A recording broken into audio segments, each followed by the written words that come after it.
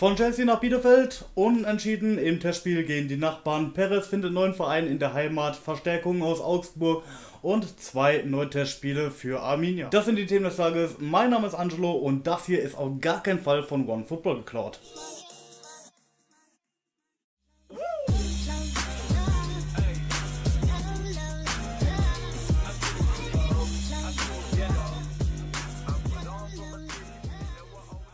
Bevor wir mit dem eigentlichen Video anfangen, wollte ich noch etwas zur XXL-Saisonanalyse anfangen. Diese Reihe hat mir immer sehr viel Spaß gemacht, doch ich habe gemerkt, es ist so langsam an der Zeit, damit aufzuhören. Ich habe einfach gemerkt, dass das Interesse Folge zu Folge immer weniger wurde und so habe ich mich jetzt entschlossen, etwas Neues zu starten. Es bringt mir einfach nichts, wenn ich mehrere Stunden Arbeit in ein Video stecke und es sehr, sehr schwach geklickt wird und es bringt euch auch nichts, wenn immer und immer wieder ein Video hochgeladen wird, das euch nicht interessiert. Wie gesagt, bringt für uns beide nichts, deswegen neues Kapitel, legen wir los. Ab diesem Video geht die neue Serie Was da los Arminia an den Start. Hier werde ich euch immer wieder auf den Laufenden halten, was so News angeht, irgendwelche Testspiele oder Neuverpflichtungen, je nachdem was so passiert. Wie oft das Ganze hochgeladen wird, das hängt natürlich immer davon ab, wie viel passiert. Wenn es natürlich innerhalb von einem Tag drei große Sachen passieren, dann kann es sein, dass mal jede drei Tage was hochgeladen wird oder jede vier Tage, wenn nicht ganz so viel passiert.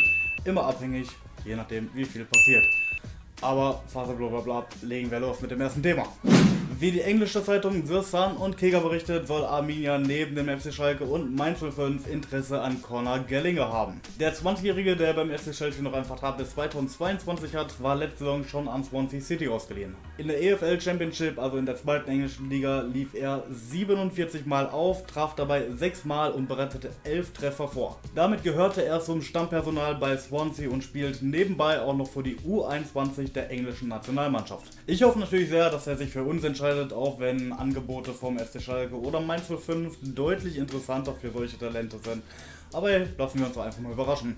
Arminia testet gegen den VfL Osnabrück und spielt genau wie in der Liga 1 zu 1 unentschieden. Der einzige, der hierbei nicht mitmachen konnte, war Linksverteidiger Anderson Lukuki. Ihm klagte eine gereizte Achillessehne. Drei Neuzugänge. Alles klar.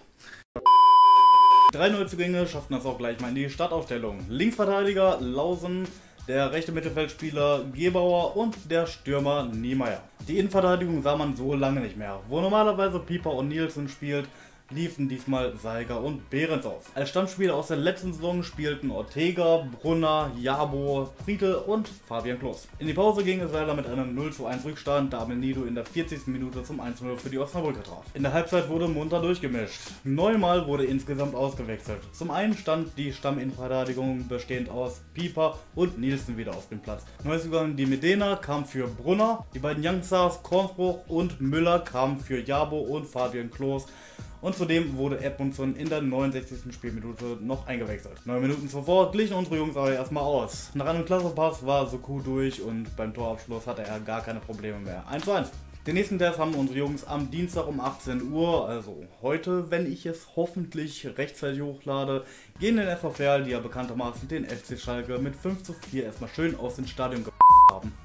Alex Perez, der in der letzten Saison verpflichtet wurde, findet einen neuen Verein in der zweiten spanischen Liga. Da er sich in Bielefeld nicht durchsetzen konnte, wechselt er zum Zweitliga-Aussteiger UD Logrones. Perez wurde verpflichtet, da sich Brian Behren früh in der Saison einen Kreuzbandriss zugezogen hat. Anstelle der Spanier setzte sich jedoch Amos Pieper durch und Perez verbrachte den Rest der Saison meistens nur auf der Ersatzbank. Dies war aber auch geschuldet vom Verletzungspech des Spaniers und so blieb sein einzig großer Auftritt in Hannover, als wir 2 0 gewonnen haben, wo er ein wirklich sehr solides Spiel gemacht hat. Alex, ich wünsche dir auf jeden Fall viel Erfolg in der Heimat und auf jeden Fall mehr Einsatzzeit.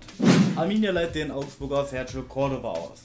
Dies berichtet sowohl der DSC als auch der FCA öffentlich. Nachdem er seinen Vertrag beim FC Augsburg gerade erst bis 2025 verlängert hat, wechselt er nun auf Leihbasis nach Ostwestfalen, um Spielpraxis zu sammeln. In einem Interview sagte er folgendes. Ich bin sehr froh, bei Arminia zu sein und freue mich über das entgegengebrachte Vertrauen des Vereins. Ich möchte der Mannschaft und dem Club dabei helfen, die Ziele zu erreichen und freue mich darauf, meine Kollegen kennenzulernen. Cordova spielt schon seit 2017 bei der Puppenkiste und erzielte in 65 Spielen 7 Tore und bereitete 3 Tore vor.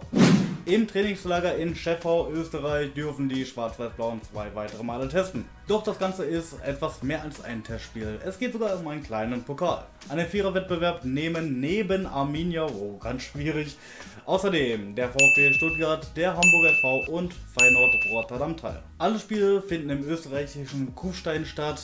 Zuschauer sind natürlich nicht zugelassen. Wer alle Spiele allerdings sehen will, auf Servus TV wird alles übertragen, also schaltet dort gerne mal ein. Das erste Aufeinandertreffen haben wir mit dem niederländischen Erstligisten Feyenoord Rotterdam am Dienstag, den 15.08. um 16 Uhr. Zweiter Gegner ist dann der VfB Stuttgart, gespielt wird hier am 29.08. um 15 Uhr. Das soll es also für die erste Folge gewesen sein. Schreibt mir gerne unten in die Kommentare, was ihr von dieser neuen Serie haltet und lasst auch sehr gerne ein Däumchen nach oben da und am besten auch noch ein Abo. Nicht alle drei Sachen macht, ist ein Preuße.